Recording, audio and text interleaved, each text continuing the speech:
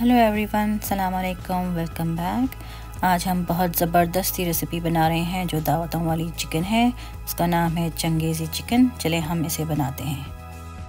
यहाँ पे मैंने एक पैन में थोड़ा सा तेल ले लिया है और दो मीडियम स्लाइस्ड ऑनियन लेकर उसको भून रही हूँ।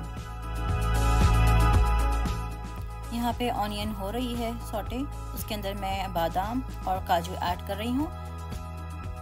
इसको आपने अच्छे से भूनना है।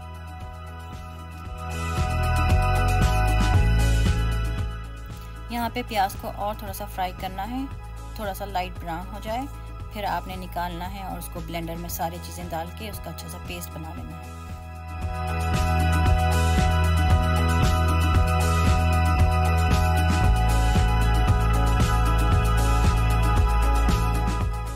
यहाँ पर मैं चिकन मैरिनेट कर रही हूँ। इसके लिए मैंने लिया है एक चम्मच कश्मीरी लाल मिर्च आधा चम्मच हल्दी पाउडर और एक चम्मच नमक,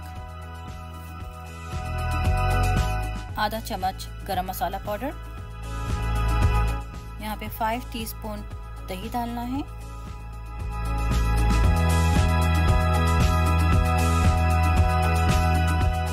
यहाँ पे मैंने एक छोटा नींबू का जूस ले लिया है। यहाँ पर एक चम्मच अदरक लहसुन का पेस्ट मिला लीजिए। इन सबको अच्छे से मिक्स कर लेके उसका पेस्ट बना लेना है।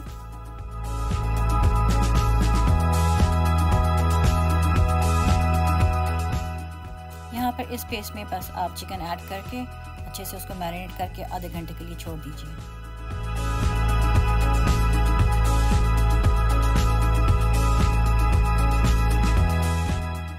यहाँ पर मेरी चिकन अच्छी सी मैरिनेट हो चुकी थी तो मैंने वही पैन में जो अभी ऑनियंस फ्राई किए थे, उसके अंदर मैंने जो मैरिनेटेड चिकन है, वो ऐड कर लिया और उसको अच्छे से भून रही हूँ। यहाँ पर मैंने एक छोटा सा दूसरा पैन लिया है और मैंने जो पेस्ट बनाया था प्याज और काजू बादाम का, वो थोड़े से तेल में उसको भून लूँगी। यहाँ पर मैंने एक चम्मच रेड चिली पाउडर ऐड किया है और एक चम्मच नमक और आधा चम्मच हल्दी पाउडर इन सबको अच्छे से मिक्स कर लीजिए और फिर इनको अच्छे से भून लीजिए।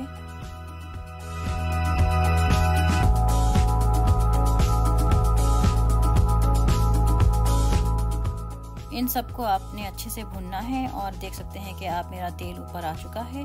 इस टाइम पे मैंने तीन टमाटे उसको पीस कर उसकी प्यूरी बना लिया और फिर ये भी शामिल कर लूँगी इसके अंदर और अच्छे से भून लूँगी।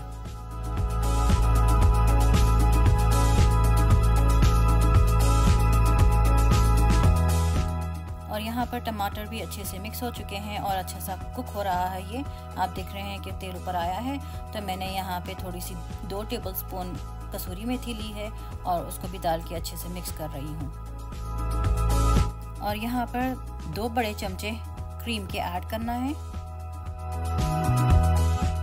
फिर इसको अच्छे से मिक्स कर लीजिए।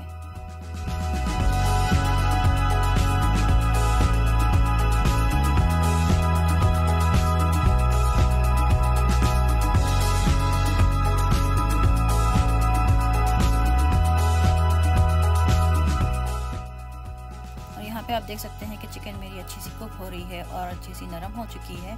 और देखते हैं कि थोड़ा सा उसके अंदर पानी है। हम इसको पानी थोड़ा सा सुखा लेते हैं।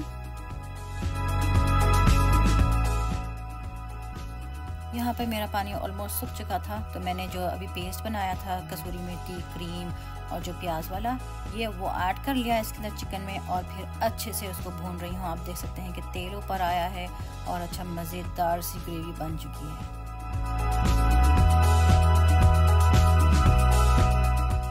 यहाँ पे मैं तीन हरी मिर्ची उसको तोड़ के डाल रही हूँ। थोड़ा सा हरा धनिया ऐड कर लीजिए इसके अंदर। यहाँ पे मैंने चिकन को ढक दिया था छः से सात मिनट के लिए बिल्कुल लो आँच पे।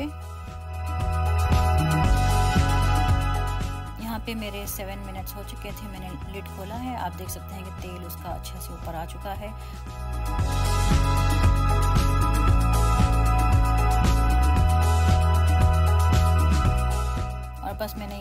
मेरा चूल्हा बंद कर दिया है और बहुत ही मज़ेदार सी रेसिपी है। आप इंजॉय करें, खाएँ, नान के साथ खाएँ और चावलों के साथ खाएँ और बहुत ही अच्छी रेसिपी है। आप दावतों में बनाएँ और अगर मेरी रेसिपी अच्छी लगी है आपको तो लाइक करें शेयर करें और सब्सक्राइब करें।